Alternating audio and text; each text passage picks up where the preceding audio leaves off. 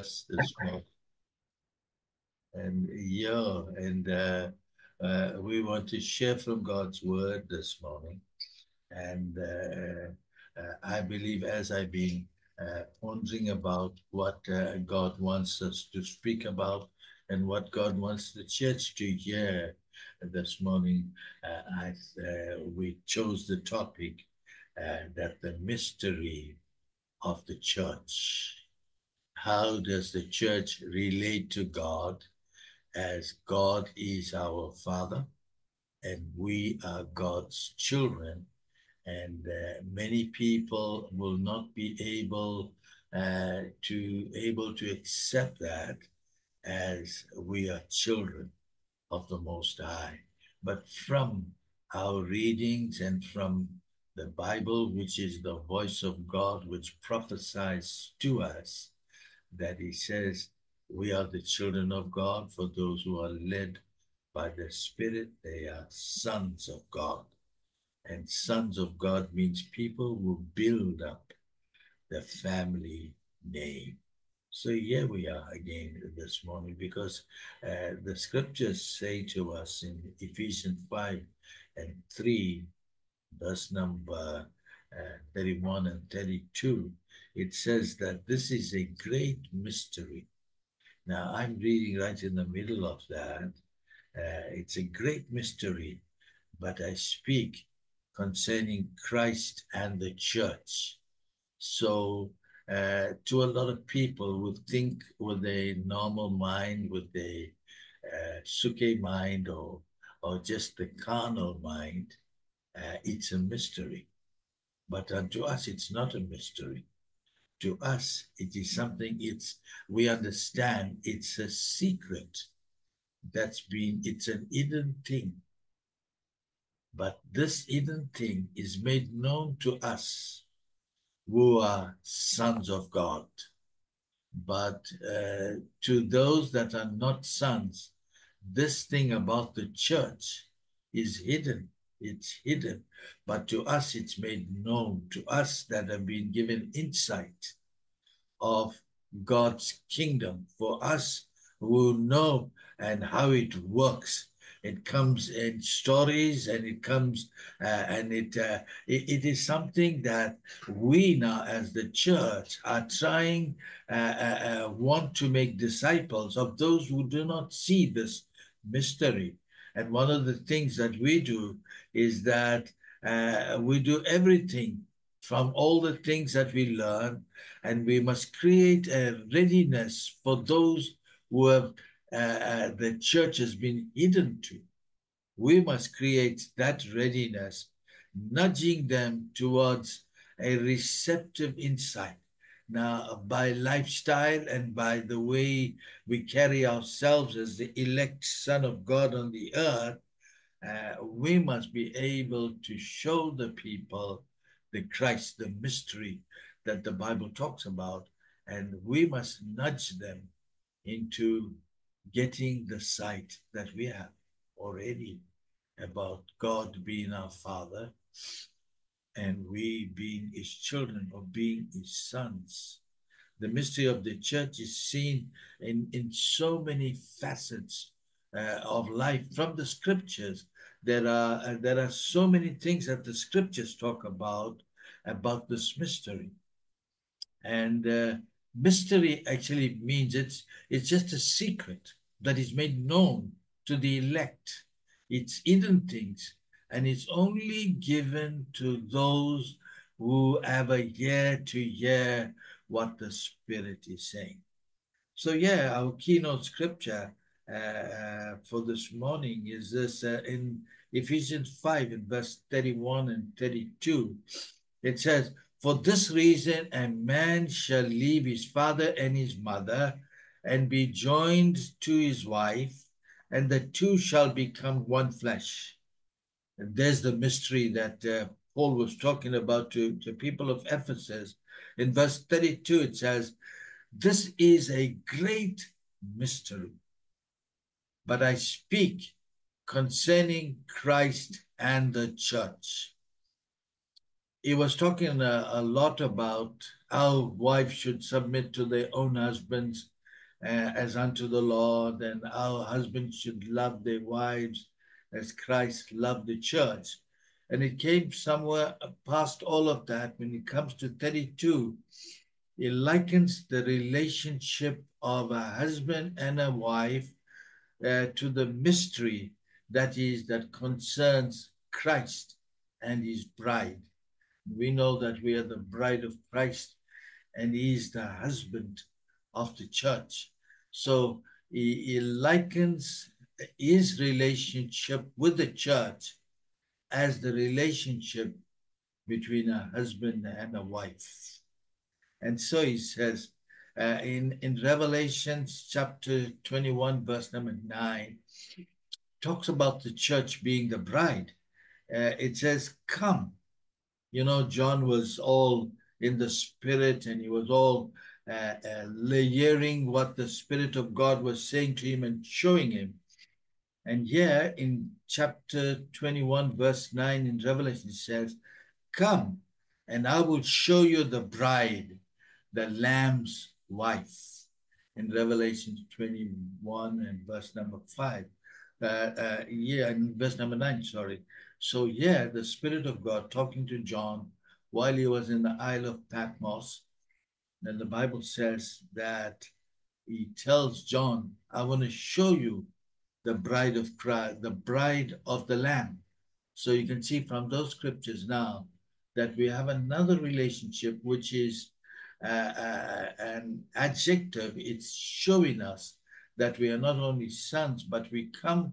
Uh, uh it doesn't really mean that we are brides, but it all it means that the relationship has intensified. We come uh, in a greater relationship, and we call it often as having intimacy with God, embracing the Lord, and, and building this relationship that is a mystery to the world. But to us, we've made known as the sons of God that have ears to hear what the Spirit says. So, yeah, it says, uh, um, yeah, and, uh, and here again, we're finding there are things that the church now needs to put into place to be able to let this mystery not be a mystery anymore to many people, that it becomes a reality. Not only a mystery, but it becomes a reality. Uh, uh, we, we find in the scriptures that there are so many places where the Lord would show the oneness between God Himself and the church. Like when it comes to the relationship between, He talks about the vine and the branches. He says, if you abide in me and my words abide in you, then you have a relationship. Like it says, then it says, if you ask what you will, and it shall be done unto you. Now it's a similar thing like the husband and wife uh, relationship when uh, in lots of the cases when a wife wants something done the husband says yes it shall be done unto you like the bible is saying that if we abide in the relationship with god as the branch that's in the vine then he says when you abide in this then if you ask what you will it shall be done unto you and then he talks about uh, the sheep and the shepherd also there's a relationship there because we know that that the shepherd is always with the sheep, doesn't let it go out of his sight. Even, uh, you know, if it gets dark, he's still there with them, build a hedge of thorn around, and he stays there to protect them. And that is the relationship the vine and the branch. We got the sheep and the shepherd. We got God and his people. So there is a great relationship that is in operation and this is the relationship that the Bible, Paul calls it a mystery. I speak of containing Christ and the church, or Christ and the bride. So, in the first part of it, we just need to talk a little bit uh, of the kind of relationship that Christ wants with his church. There is a relationship that Christ wants with his church. One of the things that uh, we need to understand as the church that the church needs to have a caring relationship. It must be one where we care for each other, where joint must supply joint, where we become one body. As we become one body, as we are one in Christ, we are one even in the church as the body of Christ. It's a caring relationship. And uh, it gives us again the same scripture that we spoke in uh, Ephesians 5 about the husbands uh, loving the wives and the wives loving, submitting to their own husbands as unto the Lord. And we know that it all turns back down as uh, as as God saying to him that this is now something that he's saying that we should be in that place where we must have the similar relationship that we have between spouses. Similar relationship we should have with God. And it comes by a caring relationship. We gotta care for one another. Uh, if yes, and then it says this aspect of caring is typified by all the things that we spoke about uh, the sheep and the shepherd, the uh, vine and the branches, and, and, and, and many other things. And it says also, yeah, it says that uh, John 10, uh, verse 11 to 14, I am the good shepherd. The shepherd gives his life for the sheep. I am the good shepherd and I know my sheep and am known of by my own. So you see, that is a relationship between the sheep and the shepherd and the sheep, where there is a talking relationship, there is a loving relationship, there is a caring relationship between Christ and the bride or his church. Yeah, in, in John 21, 16 and 17 says, And he said to him again and a second time, Simon, son of Jonah, do you love me? And he said to him, Yes, Lord, you know that I love you. And he said to him, Tend my sheep. And he said to him the third time, And Simon, son of Jonah, do you love me? And Peter was grieved because he said to him the third time, Do you love me? And he said to him, Lord, you know all things, and you know that I love you. Jesus said to him again, Feed my sheep. And we know that that feeding is something that is very uh, prime. It's something that we do. We have children who feed them. We feed each other as possible. And yeah, uh, the Lord is saying to Peter, Peter to feed his sheep. Now, the kind of food that we're talking about, Peter was talking, Jesus was talking to uh, Peter about was manna, that Peter had to give manna to the sheep. So you see, this is now still falls under a caring relationship. Jesus, even though he was not around anymore, he was risen, and uh, after he rose, he found Peter stopped doing that which he was called to do. That was to do ministry uh, to God's sheep. And then uh, because Jesus was uh, so uh, uh, fond of the church and he cared for the church, and he comes and tells Peter, What you're doing now is wrong. You've left feeding the sheep and you're now gone back fishing. And Jesus begins to tell him that he must feed his sheep. If you love me, you see, the love for Christ is when you are in kingdom business, like Jesus actually was in the business of the Father. When he wasn't as uh, at 12 years old, the Bible says that he was teaching in the synagogue, only 12 years old, teaching in the synagogue. What was he doing? He was feeding the people that rebelled against his father. He was speaking to them, the scribes and the Pharisees, and he was doing the same thing that Jesus said to Peter If you love me, feed my sheep. Now, Jesus at 12 was sitting there and he was free. And we know the story that his parents go and they come back for him and they ask, Why did you do this to us? And. M. Peter said to uh, his mother, He said, Did you not know that I was about my father's business? So all Peter was doing was answering questions.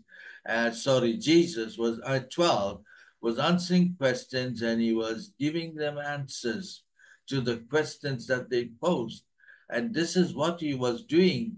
He was about the father's business, according to his quotation, when he said to his mother, Did you not know that I was about my father's business? At the same time, the same uh, uh, thing that Jesus told Peter, uh, Jesus now himself was doing that, only 12 years old. And we know by 12, Hebrew boys have to know the Torah, the five books of the Old Testament. And he was teaching, he was feeding, he was feeding. As, as, a, as a shepherd of the Lord, he said, Cast all your care upon him, for he cares for you. So the, the, the church should be at a place of having a caring relationship. We should care for the church. We should care for one another. We should care uh, uh, for God's body, for God's bride. This is now uh, the church of God, the elect of God, is the bride of Christ, as we read earlier on. And uh, we, as the body of Christ, must care for one another.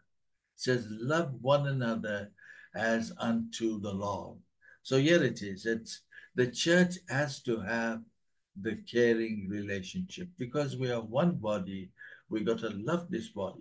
We got to love this body because, uh, you know, the body will go through through uh, happy times and it will go also to sad times. But as the body of Christ, as a caring church, uh, we must come to the place of being able to be there for each other, to love one one another as unto the Lord. So this is a caring relationship. One of the things about the church is to have a caring relationship. The church with Christ himself was really, really, uh, you know, cared so much that he said, I want to do this thing. I want to bring back uh, the reconciliation between God and, and man. Wanted to bring that back, and the Bible says that he left heaven and he came to earth to be able to do that. And it was a caring relationship that started off with Christ our Savior. So here we are again, caring relationship. One of the things about the mystery of the church, the mystery of the church is when we see people caring for one another. The Bible says this. It says, How will they know that you belong to Christ? It says, By the love that you have for one another. When we go back to uh, the new church, the baby church in the book of Acts, we find that people really, really cared for each other. And they cared so much that there were no poor amongst them. There were no people that were going to bed without a meal. The Bible says that uh, uh, they, they cared for one another. It says those who had property uh, sold and brought the money and gave it uh, at the apostles' feet so that uh, nobody had lack. There was no lack amongst the people. And that's a caring relationships. Uh, so we find that, and we know that two people who did that, uh, uh, that sold up the prop. Barnabas was one of them. Then Ananias and Sapphira also tried it, but they didn't do it like Barnabas did it. Barnabas did it as a man of God who wanted to see the church being cared for.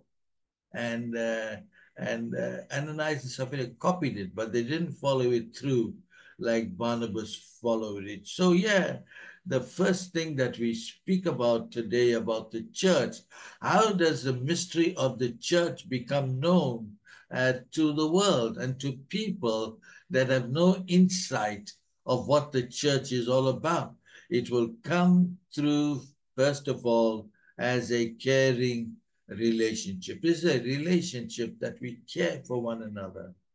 The Bible says, uh, can the can if if in the body if one part of the body is not well if the toe is painful it's not only the toe that bears the pain but it's the whole body that feels the pain so it says that when one uh, is in pain, then the whole body must feel the pain. When one is rejoicing, then the total body rejoices. And this is a boils down to a caring relationship. And number two on the list we want to talk about is an habitational relationship. You know, when it comes to habitational, uh, when we talk about an habitat, we talk about uh, a place where the people dwell.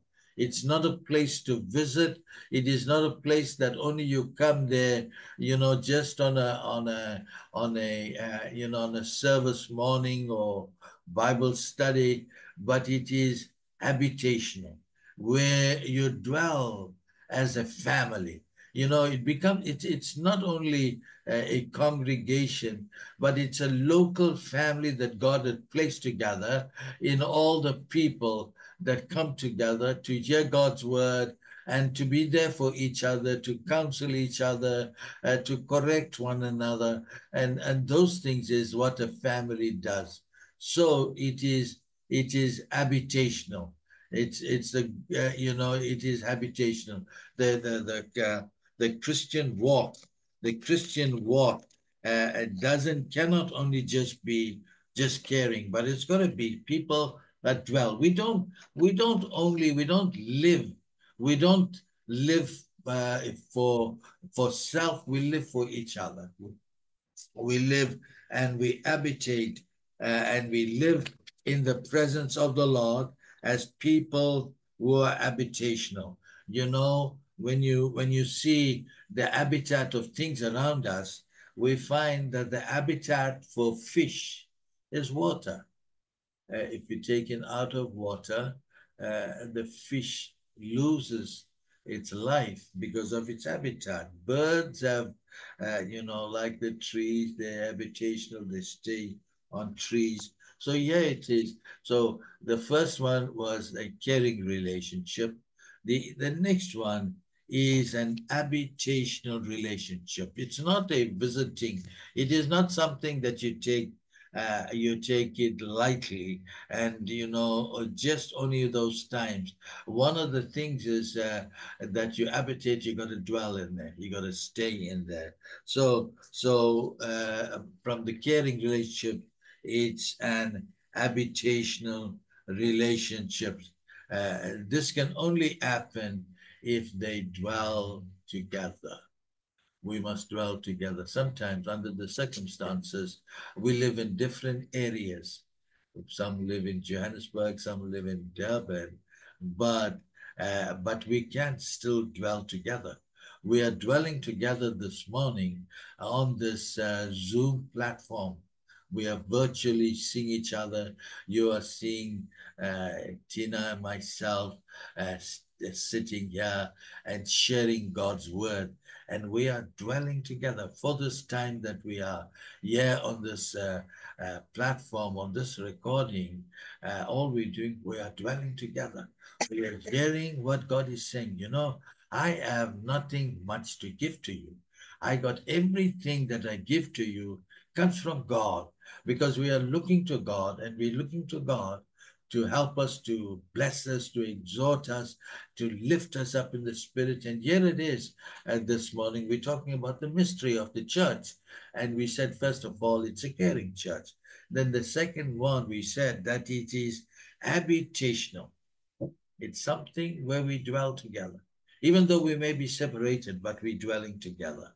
You know, our thoughts, our thoughts are like Christ. The Bible says that our thoughts, uh, God knows our thoughts. And, and if He knows our thoughts, then our thoughts which should be the thoughts of us being His children and that we dwell together. When we have things that happen in this family or uh, church life, uh, we must be at a place where we show concern.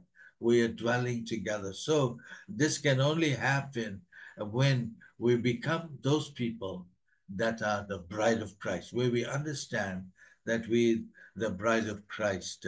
So we find that the relationships is typified in so many things, like we said in the beginning. Yeah, we're just going to read about the vine and the branches in John 15, 5. It says, I am the vine, and ye are the branches. He who abides in me, he who dwells in me, he who habitates in me, and I in him, bears much fruit. For without me, you can do nothing.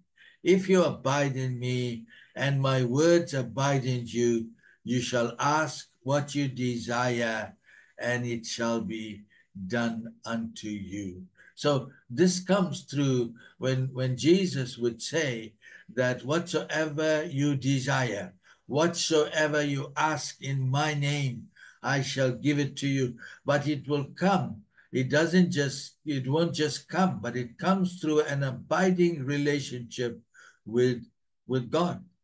An abiding relationship, I believe, also we must have with one another, with the body of Christ, because we are one. So the second aspect of the mystery of the church is that we need to abide.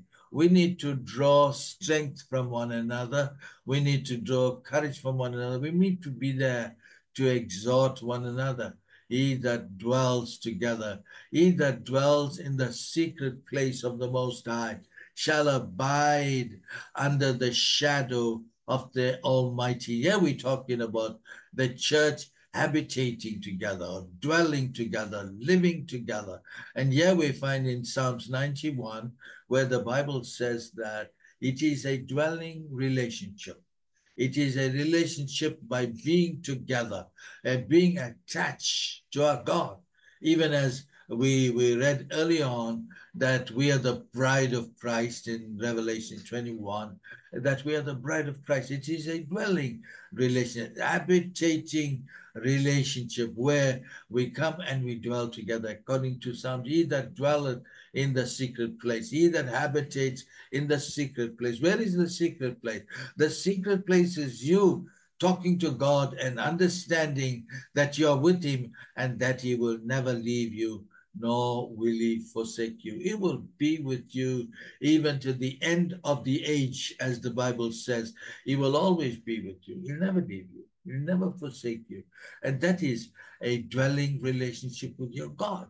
You can you can talk to him just about any time. You can you know that when you utter uh, uh, things to him, he's hearing you. We know that he, he is there for you. There's no time that he's too busy that he cannot attend to your cry. He will be there for you uh, uh, when the times you you need him most. He will be there. But it's for us just to be able to recognize that He's there. He is there. You got to keep reminding yourself and encouraging yourself that He will not leave you. He will be there. So there is this habitational uh, uh, uh, uh likeness of the church uh, to be looking as the bride of Christ. So it's it's habitational. You cannot you cannot separate the branch of the vine from the branch. Because it is there, it, it relies on the vine. And you get you get other plants that they call it parasitic plants, where the parasite plant lives off another another living plant. So we find that that uh, this this we are not parasitical, but we are joined we are joined in habitational caring by God as we are in the vine. And if we stay stuck to the vine, then we will be pruned and there will be fruitfulness. And we cannot break this uh, thing and say, no, I can do it by myself. No, you cannot. You need the body of Christ. You need Christ himself as the vine uh, is uh, attached to the branch. So it's a dwelling, it is a dwelling relationship. And, and, and, and uh, we know what it is. The vine is Christ and the branches, we are the branches. Then we dwell in him, we stay in him uh, through good times and not so good times. We stay stuck to him and in being that, then the mystery of Christ and the church becomes to us a, a, a, a it becomes to us this mystery that we're talking about, the mystery of Christ and the church. And then we also understand that there's got to be also a united relationship. How, are we going to stay united? We stay united to Christ and we need to stay united with each other. We got to watch each other's backs because in this process of the mystery of the church, we will find that, uh, you know, there will be challenges many, but how do we do that? If we belong to Christ and we are in a place in the Bible that calls us the army of the Lord, we've got to be there to fight for each other. I mean, an army can't fight against itself. They are united, united in a united relationship. And you know, it talks brings it back to when we talk about a united relationship. The Bible is always talking. Now we go back to Genesis about this. We read this in in Ephesians, Paul talking to the Ephesus people. And in Genesis, God was talking through Moses about the same thing about a, a, a, man leaving his father and his mother and cleaving to his wife. And it's the same thing. It's the mystery of Christ and the church. And also, uh, it becomes a oneness principle. It says that the husband and the wife are one flesh. The Hebrew word for one is echad, and it means united in one. So when, when, when, Paul will expound that relationship, it's talking about we being one with Christ. The Bible says uh, that uh, uh, Jesus made the declaration saying that I and the Father are one. He says to the Father, even as you and I are one, we want them to be one. We want them to be echad. We want them to be uh, altogether one. It's not united, but the word is one. Uh, the church, God wants us to be one, united and one. Just like God the Father, God the Son, and God the Holy Spirit are one, He wants us as his people to be one. And this now is another part of the fulfillment of the mystery of Christ when we become one, where we care for each other as one. So here we are, united in one. So we had we had about uh, three things we're speaking about. The third thing now, the first thing we speak about a caring relationship. If the mystery of Christ has to be seen in the between Christ and the church, it's got to have caring relationship. It's got to have habitation relationship, dwelling relationships that we stay in, and we're now talking about uh, a united, united relationships. So yeah, in Ephesians uh, chapter uh, chapter five, and reading from verse number thirty and thirty-one, um, uh, we're gonna read here. For we are all members of His body. Uh, we are members of Christ's body, and His flesh, and of His bones. We are all members of Christ's body of his flesh and of his bones. Now we're talking about the united relationship. So, yeah, it says that we are members of Christ. We are part of his flesh and his bones. That's what it says in, uh, in Ephesians 5 and 30. For we are members of his body, members of Christ's body. You see, uh, we are not called uh, just a body, we're the body of Christ. So we are members of Christ's body and of his flesh and of his bones. Now, this is getting a little bit deeper when he says we are members of Christ's body, of his flesh and of his bones. Where did you, where, where can you correlate that with the scriptures? How can we say that we are of his flesh and of his bones? the Bible says that when he was talking about uh, uh, the communion once with the scribes and the Pharisees, he said, If you do not eat my flesh and drink my blood, you have no part in me. So, yeah, when it says, yeah, you are of my flesh and of my bones, it correlates with the scripture when uh, it's in John 6, uh, 665, I think. And people felt it very difficult. In John 6, 66, some of the people left him because he couldn't understand when Jesus was talking about, if you don't eat my flesh and drink my blood, you have no part in me. So they didn't realize what God was saying to them in the flesh, uh, uh, what God was saying to them.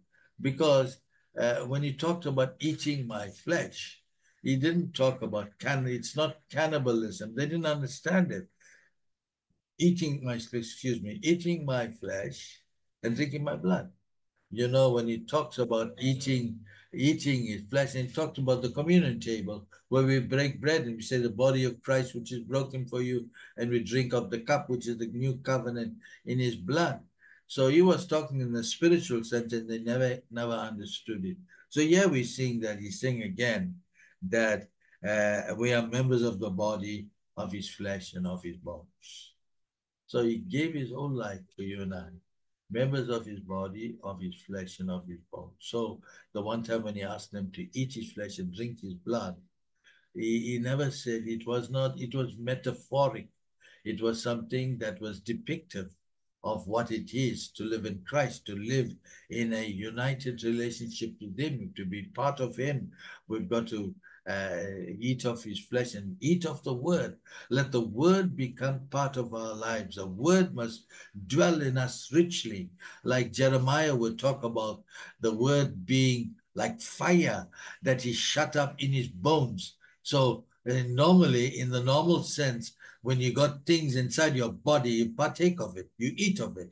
So yeah, it is in the spiritual sense. Uh, Jeremiah said, because he's been eating of the word and he's been drinking of the Spirit of God. He says it's now like fire that is shut up in his bones. When, when they stopped him from speaking the things that he was speaking, he was prophesying about Israel's captivity. He went to them and he said, You know, you're going to be taken away into Babylon. That was before they were taken into Babylon. He came and he said to them, this is what the Lord is saying that you're going to be taken captive into Babylon. And uh, they that's when they put him in a slime pit. They said, What this fellow is coming and telling us some things like this. And they didn't listen to him. And they put him in a slime pit. It wasn't long after that Nebuchadnezzar came and took them all into captivity. Jerusalem and Judah was gone into captivity because this guy was saying it because he was so full of God. He understood God was telling him things that was going to happen to, to his people. And they didn't listen to him. They thought he was talking, you know, uh, uh and they felt because he said they're going to, this king, Nebuchadnezzar, is going to come take over. It's going to take you all into Babylon, into captivity. So they didn't believe him, and they, but it happened. We know from scripture that it really happened later, but uh, just for speaking truth, all these things happen to the man of God. But we've got to understand that we've got to be at a place of a united relationship with God. And if, God could tell Jeremiah that this thing can happen, uh, that uh, they're going to be taken into captivity, uh, why can't he say it to you and I? He can say things to you and I that needs to be, uh, will come to pass. And sometimes we are not at the place where we can hear that. And uh, yeah, this is what God is saying, what God is doing. But it must be a united relationship, it must be one with your God. When you're one with your God, then you automatically can be become one with God's people, which is Christ's body. God's people in the church, we belong to Christ. We are the body of Christ, and Christ is the head of that body. So here we are united relationships is depicts the mystery of the church when we become united uh, with God. And you know, I think the crux of the matter is first of all, uh, in order to be united with your brother, with your fellow people, which is one body, excuse me, which is one body. We're not separate. The church is not separate, even though they are uh, different denominations, which is not in line with God's word. We have all the different denominations. But still, if we are led by the same spirit and we live by the word of God, we are still one body. Cannot be. There's no two bodies of Christ. There's no one antichrist and there's a genuine Christ. We know that there is antichrist, there is a harlot, and there's a bride. But the bride is one body, one body, united uh, relationship with, with God. And if we are at the place where we united with God, then automatically uh, we must be united with Christ's body, which is the church. And, and that's united. And that relationship would show to the world our unity uh, with each other, relating unitedly, would show the church, uh, the world, the mystery of the church. We're saying the same thing. If you go to China uh, for a meeting, and now you'll be accepted as part of the body, or even though they may not know English or you may not know Chinese. But when you go there, in most cases you go, you feel so welcomed because they are also speaking as the body of Christ, the message of Christ in that church. And if you go, then you link up in the frequency of the church and you link up with the, by the Spirit of God, you'll be very comfortable even in a foreign uh, language church where they're speaking a foreign language but you'll be comfortable because the Spirit will unite you together with that congregation. So here it is, uh, the mystery of Christ being shown uh, through a, a united relationship. Then there must be a representative relationship. We don't, we don't represent anything else. We represent Christ and his kingdom. So there must be that representative relationship. How is that representative relationship and now must become known in the world? Because the Bible says that we are, we are Christ. We belong to Christ. And we walk in his presence. We make him known. Uh, yeah, so we become representative uh, uh, relationship. There must be, we must, we, we only got to represent uh, uh, one kingdom. We don't have uh, too many kingdoms. We've got one kingdom, and that kingdom is the kingdom of God. You see, the kingdom of God and the domain, the domain of God. The Bible talks about uh, Jesus he, uh, and he's, uh, Jesus is seated on his throne. I can't recollect that scripture, but he says that Jesus is ruling from the throne. No, no, no, sorry. That scripture goes like this it says, Heaven is his throne, and the earth is his footstool. Now, when we look at uh, uh, Jesus as representing the Father, he represents the Father in rulership and governance, in dominion as he gives the dominion mandate uh, to the church to rule over your enemies, like David said, he ruled in the midst of his enemies. And we know that to rule is of God, because God said this to Adam. He says, Take dominion.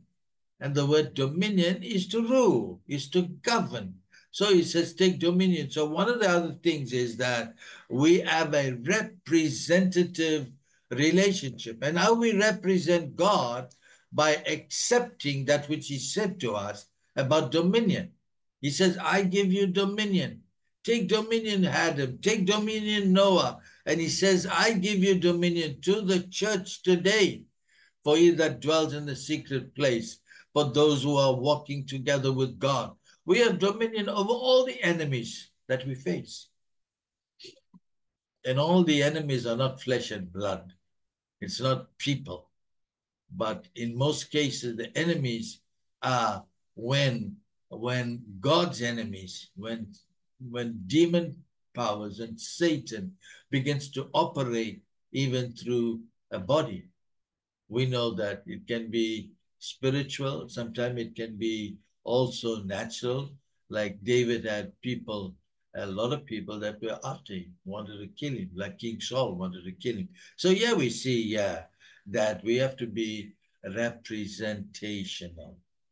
This mystery of Christ that we talk about is the mystery of the church is a representative, uh, representative relationship. We must represent Christ as sons of God.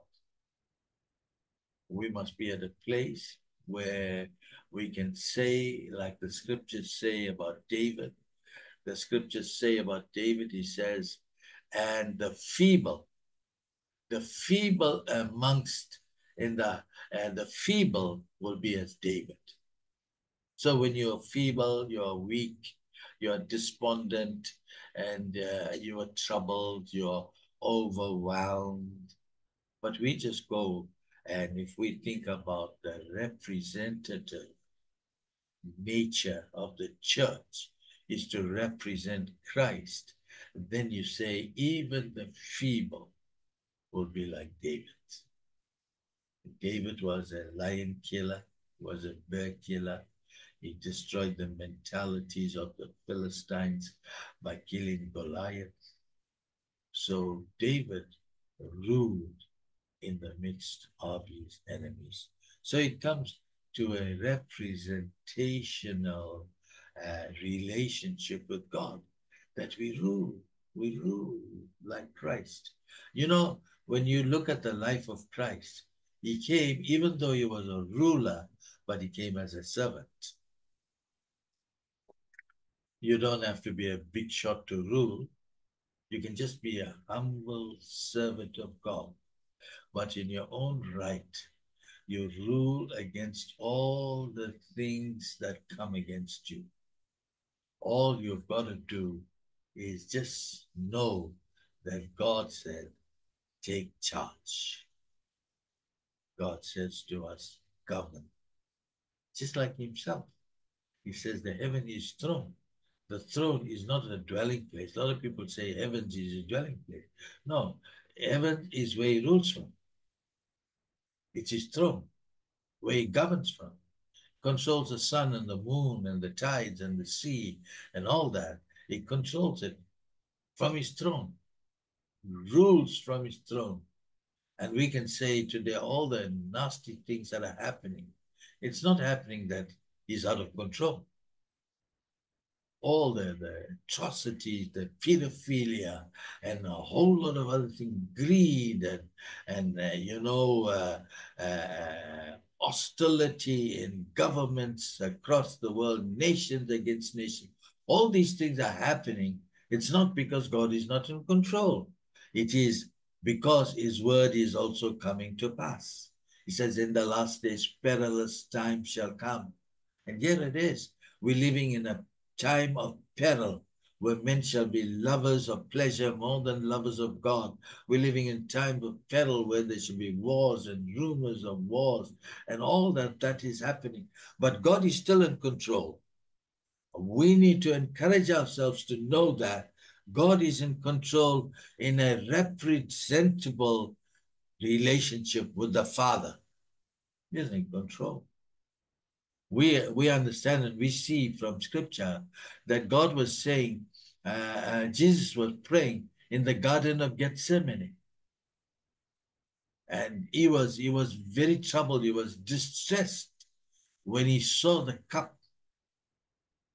And he said to the Father, Father, this is for me it's, it's so bad uh, if please you can remove this cup from me but you see because of a relationship that he had with the father that they said covenantally that he's going to go and he's going to die as a man so that man can be reconciled back to the father and yet again you said back his representative relationship with the Father was, nevertheless, not what I want. If I can do away with this cup, it'll be nice for me.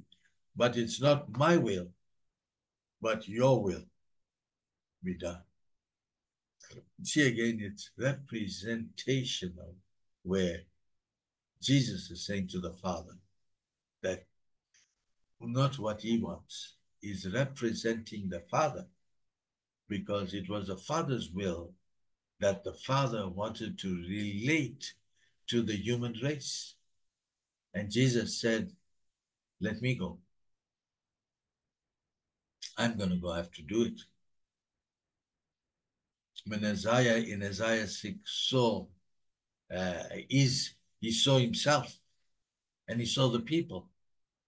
And when God put a coal of fire on his tongue and gave him and purified his, his tongue because he lived amongst unclean people, and the Bible says, when their Lord asks, Whom shall I send? And who will go for me? Then Isaiah said, Lord, here am I, send me. So Jesus said the same thing to the Father send me. It was relational that he had to go and make a completion of that which he covenanted with his Father to finish. And you know what? When he did this, when he came, he died and he was persecuted, was ridiculed, he took stripes, and he went to the cross. In the beginning, right in the beginning, with him and his father, he said, Father, I'm going to go down and I'm going to finish it. All. So we find it's relational. Again, you see, it's now a relationship between God, uh, Jesus Christ, the Son, and God the Father. And then he said he's going to finish it. And when he came on, uh, on, on the cross, when he when he died, when he gave up the ghost, he surrendered his life to, to the Father. And then he said, It is finished. That which he said to the Father, I'll go down and I'll finish the work of reconciliation, that man would come back to be able to talk to you and to come into your closet and to come sit in your bosom. And Jesus came and finished it all up. And that was because of a relationship that he had with his father. Now, what about us in the church?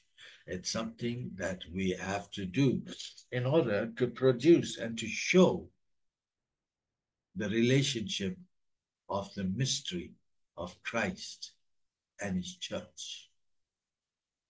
So we said the first thing we did was a caring relationship. The second thing that we had to dwell, it's an habitational relationship. He that dwelleth in the secret place of the Most High shall abide under the shadow. And then we said the united relationship, and we covered uh, a little bit of a representative relationship. Now, we spoke mostly about uh, Jesus representing the Father on the earth as his Father's Son as the divine Son of the divine God, but also it's very representational when we now have uh, to represent God as the one body. See, Christ came and as a one body now represent Christ.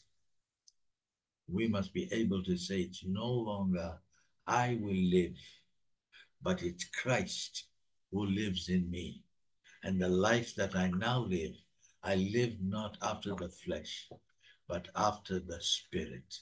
See, that becomes representational that we are not only uh, normal uh, beings, but we are also spiritual beings representing Christ and the Father who are spirits. You see how that representation comes in? We represent Christ as spiritual people. Jesus said, I am holy. You too must be holy. I am separated. You too must be separated. And that is representation. So we thank God for His word that we could talk about uh, uh, uh, the church. How does the church in the 21st century represent Christ? And we've had a few things that we spoke about, like a caring relationship. Uh, we spoke about dwelling relationship, habitational or dwelling relationship, united relationships, and representative relationships. So we got to represent Christ and represent the body on the earth. So in order for the mystical union of Christ and the church to be seen, that's the ultimate church of Christ, where we get together in all the various things that which we spoke about. So we just want to pray before we uh, take the communion. And uh, for those of us who uh, render your offerings, we probably put it on the on the on the chat uh, later on. there will be a with our banking details where you can uh, place your offerings unto the Lord. So we're going to pray. We're going to ask Tina to pray and pray also for the communion. Father, we thank you this morning that we can come to the table of the Lord and we celebrate and that you came to the earth, that you gave your body um, to be crushed, and that you give your uh, blood to wash us clean. So, Father, we pray in Jesus' name that we can really understand what it means that Jesus offered his blood unto us. Father, and we pray for all the, the, the offerings that will come in, that it will, that it will be bring glory to. In Jesus' name. Amen. Amen. Let us partake the body.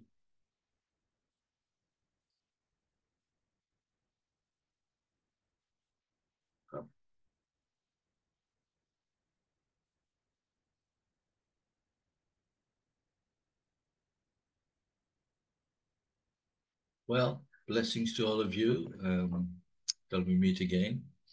Uh, Tuesday night Bible studies, and uh, well, of course, next week again. God bless you, and bye for now.